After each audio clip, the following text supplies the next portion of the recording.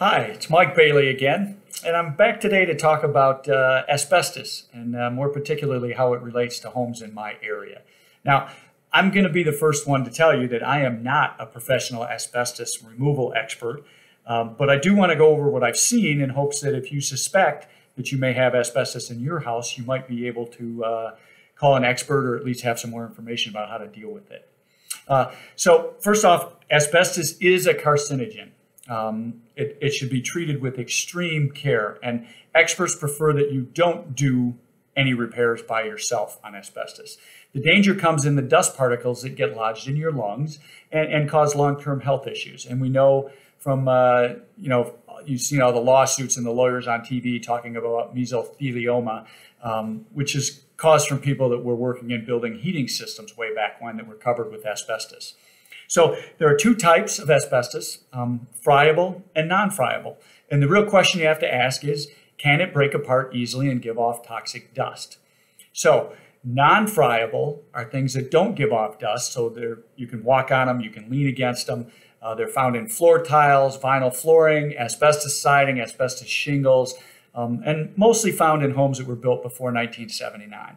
The key to identifying those asbestos floor tiles is that they usually came in a nine by nine tile versus today's tiles, which are a foot, 16, 18 inches.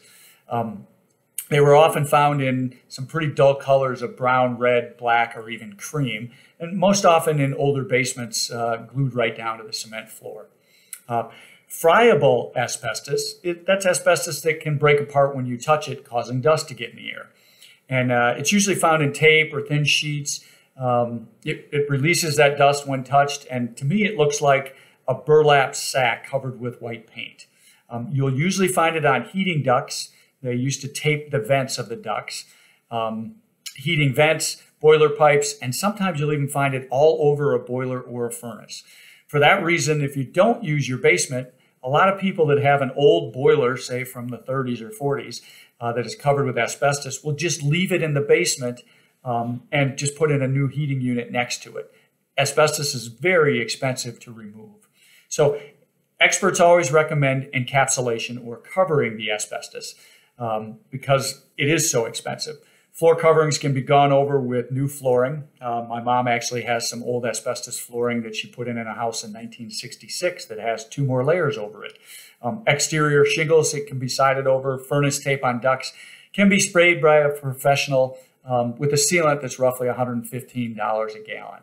Um, so removal is pretty complicated. Uh, not only they test it, but they need respirators and throwaway clothing. They seal the area off and use vacuum bagging and air purifiers so that you don't get any of this dust in your house. The big issue becomes is you can't throw any of the asbestos that you take off in the trash because it's a hazardous substance. So it has to go to a hazard, hazardous waste pickup site. Um, Again, because of all these reasons, experts just don't recommend that you do this. And they certainly don't want it to be a weekend project for anybody. Um, two other types that I've seen the most in the, the Dane County area homes built before 1986 often had ceiling plaster that has asbestos in it. So before you start sanding or drilling into it or removing it, you might want to have it tested. Lastly, asbestos vermiculite attic insulation is probably the most common thing that I've seen. Uh, it was blown in, has little tiny pieces of shiny vermiculite. Um, that's what gives it away because you will find the same blown in substance without that little vermiculite in it. So there are removal companies in the Madison area that will test and remove it. Uh, they'll re-insulate for you. And there's even one company that has a grant. Um, if the asbestos was made by a certain company in the Midwest, um, they will remove it and pay half the cost of the removal. Um, as a just a rough cost comparison, I recently had a, about a 1,300 square foot ranch that was built in the 60s, had asbestos vermiculite in it, cost $4,300 for everything. That was removal and replacing it with new insulation, and that was without the grant. So there you have a little bit more about asbestos. I'll post several pictures um, after the video as examples so that you can see it.